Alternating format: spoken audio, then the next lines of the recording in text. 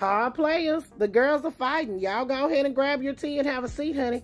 Apparently, Rumple McForehead is trying to remove Kevin McCarthy as Speaker of the House because he didn't move fast enough on President Biden's impeachment inquiry. Y'all go ahead and grab your tea and have a seat, honey. Let's talk about it. So yesterday, Rumple McForehead, aka the privileged pervert, said that he wanted Kevin McCarthy removed as House Speaker and that he was going to move toward that because uh, Kevin McCarthy had not launched this impeachment inquiry into President Biden. Now, lo and behold, Kevin McCarthy goes ahead and launches this official impeachment inquiry into President Biden and his family today. So basically, the privileged pervert strong-armed Kevin McCarthy into launching this impeachment inquiry, especially without holding a vote on it. And he knows he doesn't have the vote, so that's the reason why he did it that way. But the privileged pervert is still not happy with Kevin McCarthy's performance as House Speaker. So you know what that means. The doors of the political theater are now open, and Rumple McForehead is ready to give the performance of the century. Roll the clip. I rise today to serve notice. Mr. Speaker, you are out of compliance with the agreement that allowed you to assume this role. The path forward for the House of Representatives is to either bring you into immediate total compliance or remove you pursuant to a motion to vacate the chair.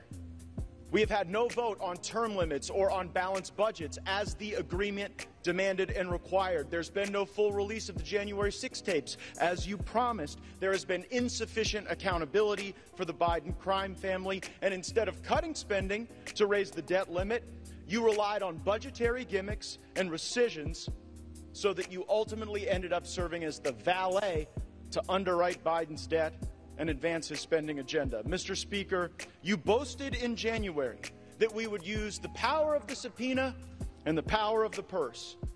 But here we are, eight months later, and we haven't even sent the first subpoena to Hunter Biden. That's how you know that the rushed and you know, somewhat rattled performance you just saw from the speaker isn't real. At this point, during Democrat control over the House of Representatives, they had already brought in Don Jr. three times. And we haven't even sent the first subpoena to Hunter Biden. Power of the subpoena and power of the purse. Only thing the 118th Congress is known for at this point is electing Kevin McCarthy Speaker and underwriting Biden's debt. And Child, the political theater is open for business. With that performance, the privileged pervert could have been auditioning for Juilliard. Hell, he could get a starring role on Broadway. But here's the thing.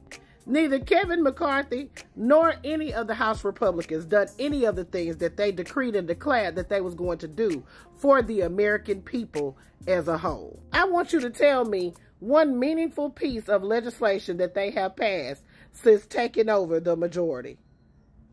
Oh, you, you don't have nothing, do you? Because they fucking have it. I declare, honey, it's a disgrace. So instead of doing things for the American people like they are paid to do, the privileged pervert and Musty to the Mustpot Marjorie are over here arguing over who gets credit for this sham of an impeachment inquiry. I declare, honey, what a disgrace. Hey, it's the GQP. It's exactly what I expected. Players, put your thoughts in the comments. Let me know what you're thinking. This is Doubledeemuva for the Blaqurate News.